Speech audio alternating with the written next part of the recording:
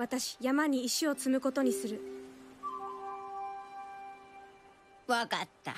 じゃあ村へお帰り。石を積んでくるといい。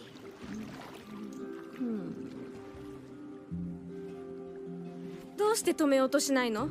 お前はそうしたいんだろ？ええそうよ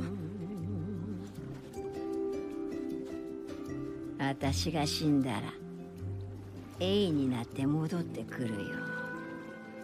このタトゥーを選んだんだからね。おばあちゃんちょっと変よ。一人くらい変なのがいてもいい。村にはね。何か言いたいことがあるんならはっきり言って。私に言いたいことがあるんでしょ？何か聞きたいことがあるのかい？